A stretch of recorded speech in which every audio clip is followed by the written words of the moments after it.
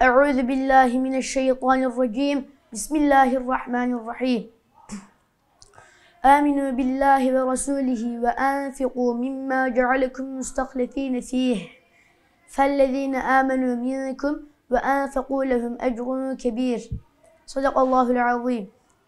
Yüce Rabbimiz Hadid suresi 7. ayeti celilede şöyle buyuruyor. Allah'a ve Resulüne iman edin. Onun size emanet olarak verdiklerinden başkaları için de infak edin.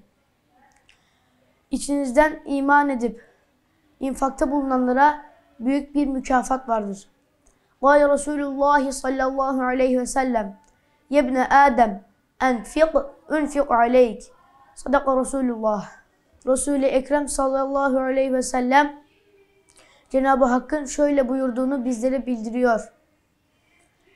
Ey Ademoğlu infak et ki sana da infak edilsin.